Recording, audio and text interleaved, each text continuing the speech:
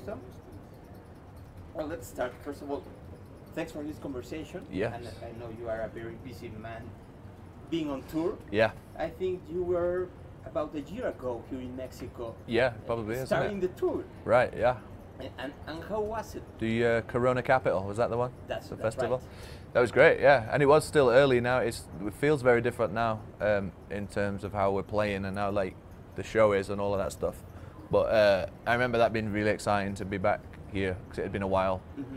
been a few years since before, since we've been before, and um, and the big festival and that was yeah, it was great. As you said, you are about a year touring with this uh, this show, with Yeah. the car incorporated in your show. Yeah. How, how do you get used to, to being with this kind of new songs, and how was the reception of the audience? Uh, it's been great actually. We, this was always a record I think that was going to be quite difficult to play live. To do it as do it justice because it sounds good on the record and we put a lot of effort into making it sound how it sounds. So I think trying to bring it to the live environment was a bit of a challenge. It took a lot of like practice and rehearsal to make it to do it as well as we wanted it to sound. Why it was difficult to, to incorporate these songs? Oh, into the set. Uh-huh. Yeah, well, that's also that's the other thing. The songs, obviously, from from the first record to this record, things started have changed quite a lot with the sound, and sound quite different to each other. So we do spend a lot of time trying to uh, craft the set list to decide what's going to make sense after what, and the order of songs is really important. Um, and yeah, it's it's definitely challenging, but we spend a lot of time thinking about that and change it. You know, almost every day we try different things. I had the chance to to uh, talk with uh, Alex about the car. Yeah. And and the main reasons to make the, the this kind of songs and and the, the meaning of them. And Right. I would imagine that uh, right now, uh, being incorporated and being part of your discography, you can uh, you can think about the evolution of the Arctic Monkeys sounds. Yeah. How, how do you describe this evolution? Um, I mean, it is. It's strange to look at it as one big thing, like seven albums, the first one to this one.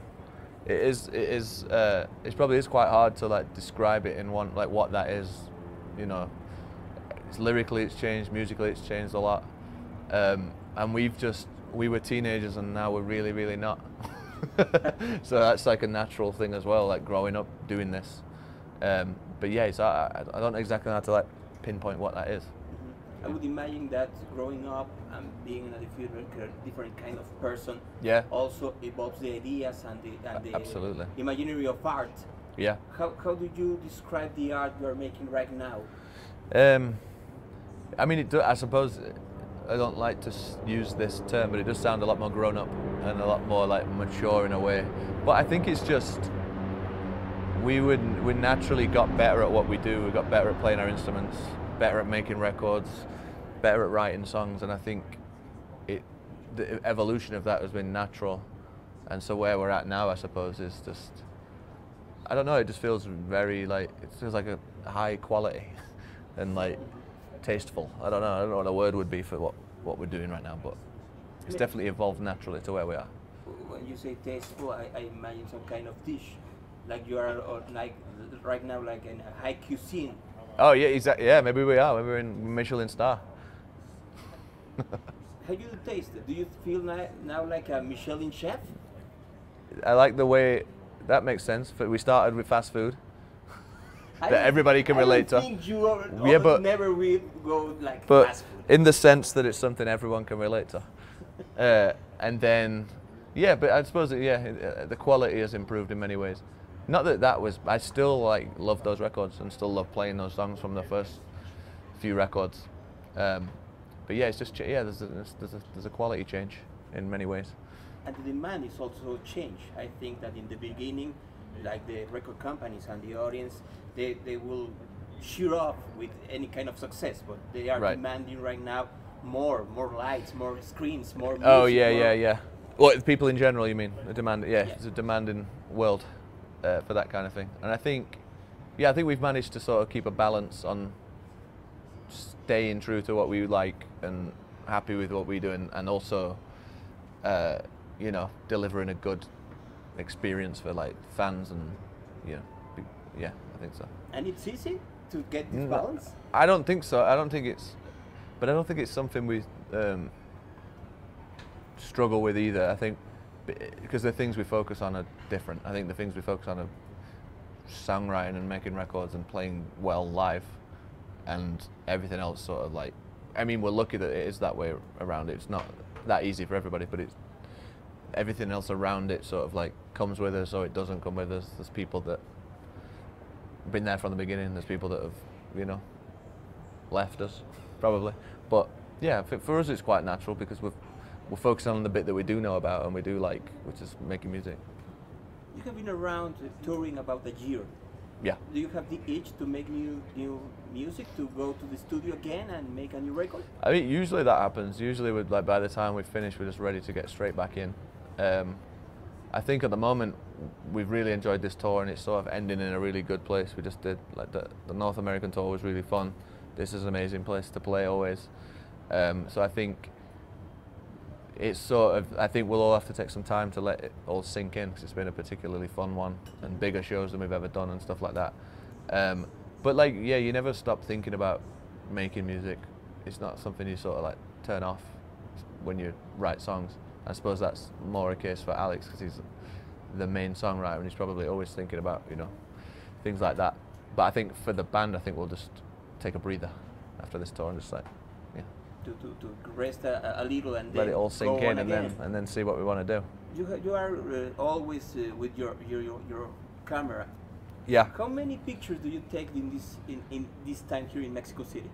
I still try to not take too many because I usually shoot on film cameras, and then, and even if I shoot on a digital camera, I still do it the way I do on a film camera. So I don't take like thousands of photos. I sort of consider what I'm seeing and if it's worth taking a picture of or not, because I can get carried away. I s I s on the phone, I'll take any, you know, just like silly ones, but with the camera, I think about it a bit more. I always think that it's better. Yeah. Because if you have a camera in your in your phone, Yeah, later you will never see the photos you take No, I know. because you have thousands and thousands it's of too them. many. Yeah, and I never. Yeah. It is the same with songs that you have to, to select the ones that are go to your heart and to, to your memory.